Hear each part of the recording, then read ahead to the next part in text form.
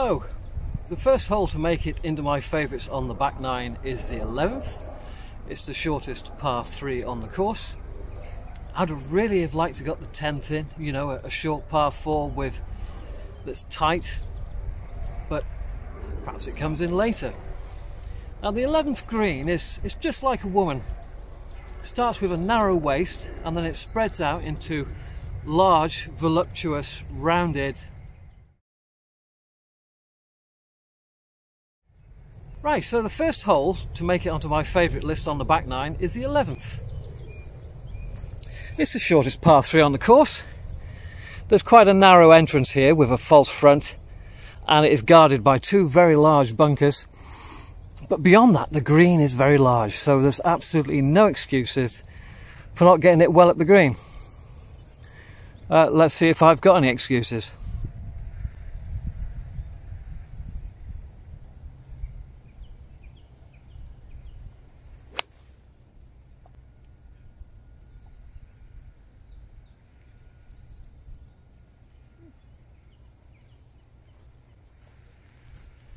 Stopped on a dime.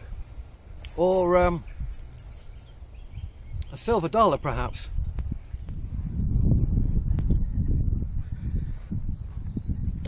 Well, there we go. I say it stopped on a dime. Or rather a silver dollar. Let's see if I can add to my tally of birdies on this hole. Although I haven't exactly given myself. Zoom the easiest putt on the green. I mean, this is downhill, right to left. I'm just going to have to hit this with a feather.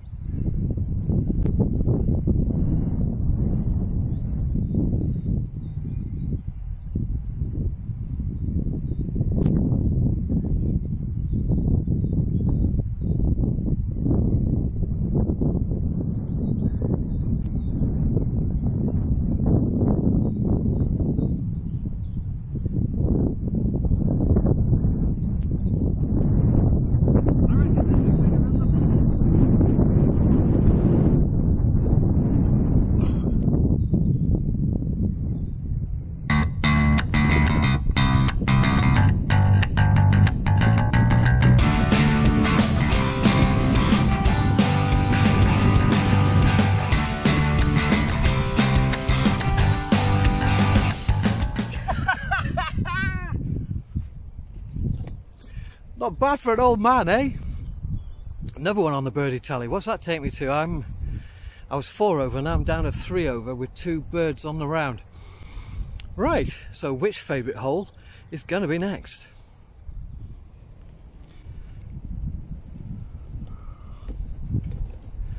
So the next hole to make it onto my uh, favourite holes on the back nine is number 13.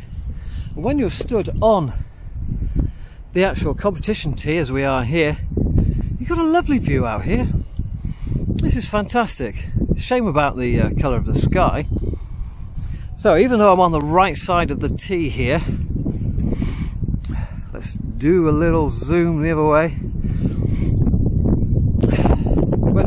This tree on the left is going to be an issue along with these overhanging trees here need to move over a bit from my usual kind of like right hand side of the tee spot. And as you can see, the fairway slopes heavily left to right. There's some small trees down the right. You just don't want to be down there. It's only 292 yards. So I'm probably going to hit three wood and it's going to hit into that bank and it will leave me 100, 110 in. The green is very small, but it's in a lovely little bowl. So as long as you get it in the bowl, it's going to roll round and get into the middle of the bowl. It's certainly a birdie chance, but it's also a cock-up chance. And that's why I like this hole.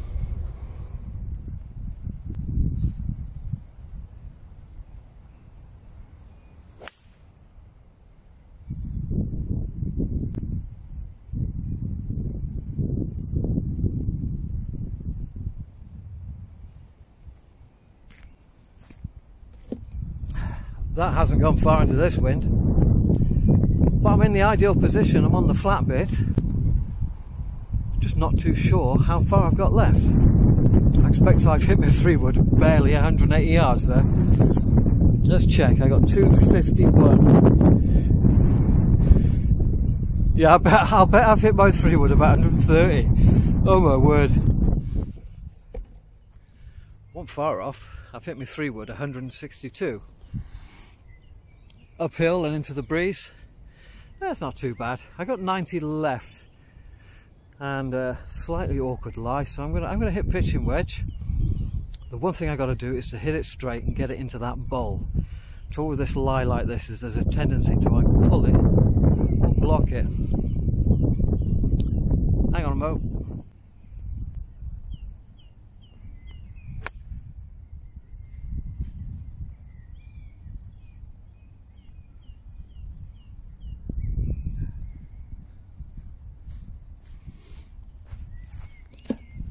Little bit skinny, a little bit left. I think it's just on though. So, did a little better than just on. That might actually be one of the easier putts on the hole. Don't think it's going to be a bird. There's a lot of borrow on this green.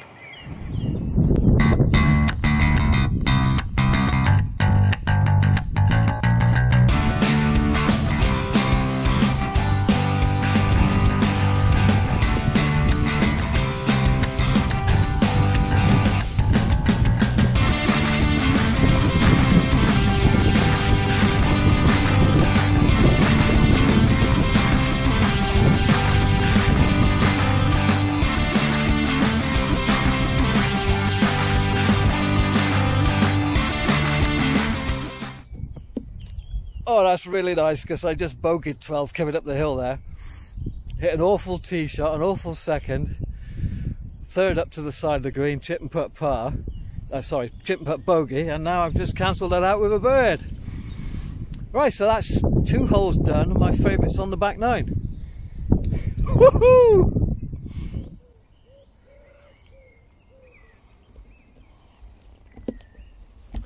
Now that's a surprise, I'll bet I've picked number 14 as one of my favourite holes.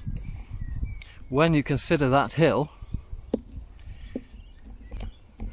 and to give you some idea the black and white post up there from the mat is only 149 yards. But when you get down to ball height and I mean ball height on the mat not ball height the slope on my watch says 165 now I know that that slope, um, I've tested it, it's a little bit out. So I'm going to say that to that marker is playing about 170. Now I can take the driver and I can hit a real high drive, but then it's going too far. It's going beyond the flat shelf in the fairway and it's running hard left, which leaves you one of these wedges with the club in the air. So this is why it's one of my favourites, because it is a conundrum. It's a problem to solve. Now, I've got some gash balls in the bag, because if you hit a good shot, then you can walk along the low road here and go round the hill. If you hit a bad shot, if you hit it a tiny bit thin or off the bottom groove and you drill it into this face, well, then you've got to go up the hill. And if I make a hash of this, then I'm just going to pull a different club and another ball and try again. But it, I have to solve this problem before the competitions start. So the awkwardness of this is my is why it's the favourite hole. But if you get it right, if you get the ball in the right place, you've got a beautiful view of the green. It looks gorgeous and it's easy. The hard part is getting it up quick off that mat. And when you're my age, getting it up quick is a little bit difficult. So um, I got the driver out. It's too much club, but it's the only thing I think I can get over the top with. Uh, I'm going to weaken my left hand. What I normally do is instead of having it that down the right side, I put the thumb on top so it becomes a one knuckle grip. That'll help me cut it, I hope.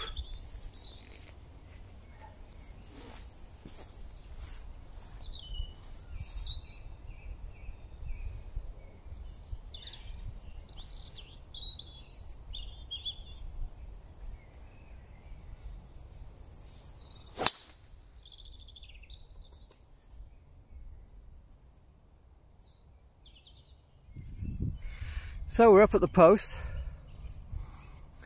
That's a hell of a long way up there, he says breathlessly. And if we turn round, you will see down here, there's a little puddle because of the, uh, the contours. But there's a flat area just here. Guess where my ball is?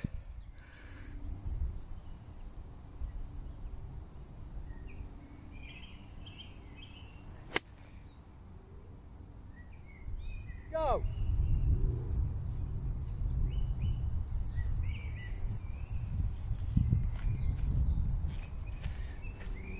That's about nine feet right of the flag. A tiny little draw because the ball was above my feet there. Always got to aim a bit right when the ball's above your feet. Another birdie, perhaps? One of the important things as you go around a golf course is always try and clock where the flags are. There's the flag for 17 and I've been told off for panning too quickly by Ur Indoors. There's the 17th tee down there. Here's the 14th. Just so you know I'm not telling porkies, there's my ball about 9 feet right of the flag. Well, I hope it shows up anyway.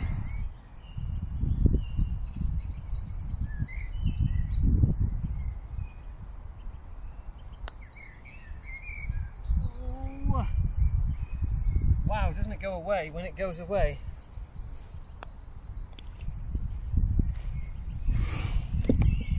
I reckon that silver dollars bring me some good luck. And they've tripled in value since I bought them. Not bad even though I'm not actually interested in its value. Right, that's three holes done. I've got 15, 16, 17, 18 left. So which one do you think is going to be my next favourite hole? I'll let you know when I get on the tee.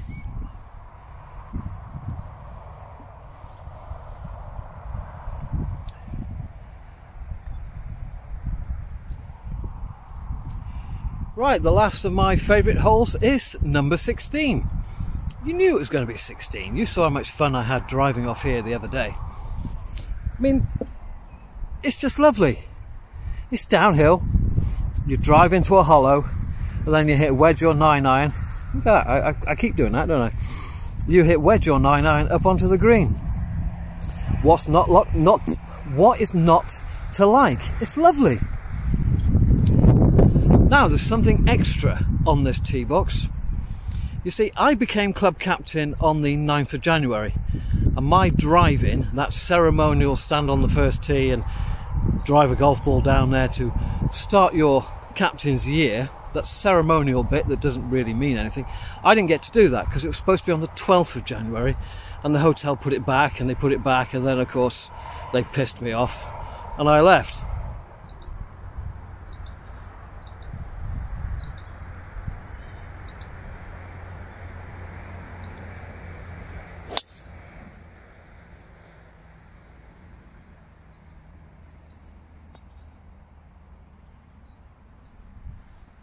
Absolutely killed it.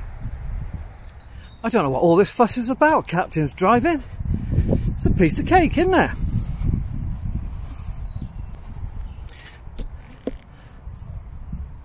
I think even I can manage that one.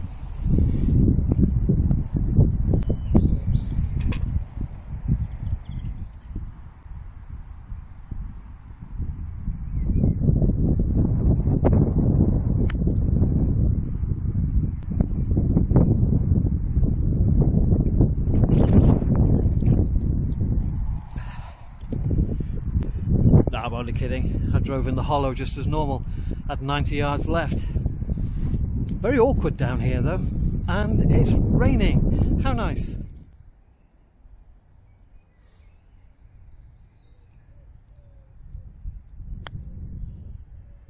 Turn, turn.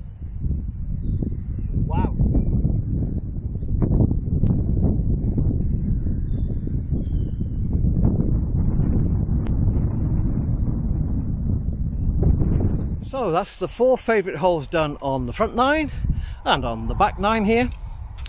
One more to go.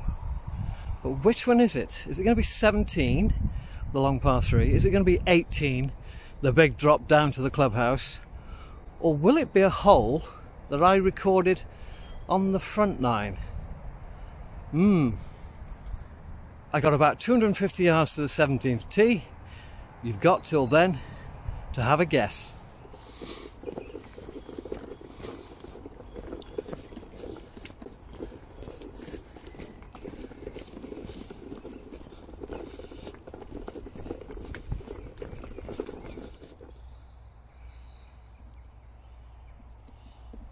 Well, the bonus hole is number 17. 200 and 214 yards from this back tee. Tee's very wide, but imagine the greenkeeper puts it over here one day. Two bunkers down the left. There's a big pond down the right. And this hole just says, do you have the balls to play me? Now you can aim over the end of the path there and run the ball. The ball will bounce and then run to the right into the green. But this hole is saying, come on, play me. Stand up to the plate and hit one. Um, fortunately, I'm down there at 185, so it's perhaps not so hard today. Right, I'm stood on the bench at the back of the tee just to give you some height so you can see a little bit more of this hole. There's the water and the green and you can bear, you can't quite see the lip of the two bunkers down the left. So, do you have the testicular fortitude to play this hole? And that's why it's my, one of my favourites because you've got to knuckle down and you've got to play it. When you get here, you can't just walk past and go to the 18th tee. You've got to play this. Let's see if I can play this.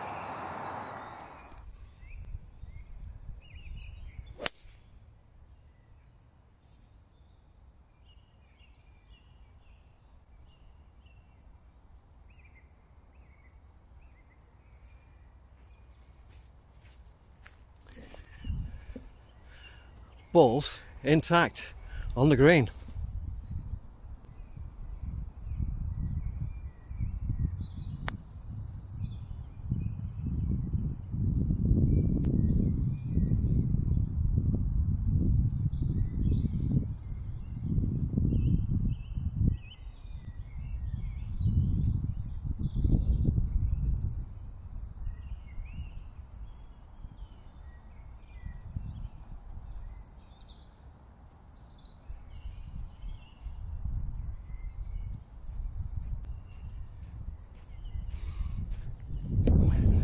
So much for uh, every putt turning against the hill.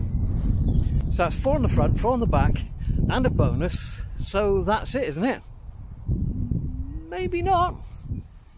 I mean, how can you possibly leave number 18 out of your favourites?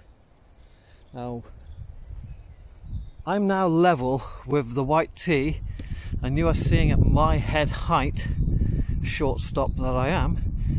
You can see the fairway, but not a lot of it.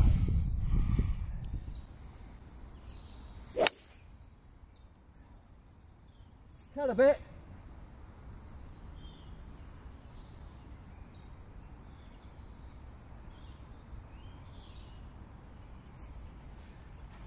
Might hit that too far. I can't see the ball in this light.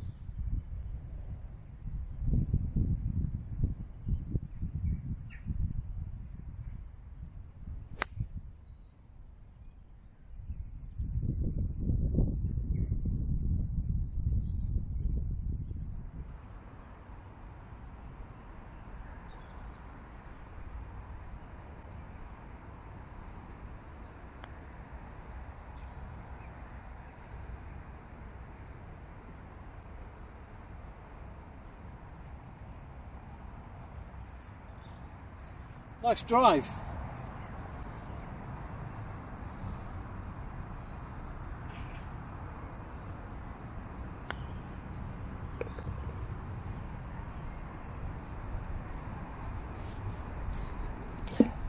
Right, that's it. No more bonus holes. You've had 10. That's your lot. Cheerio.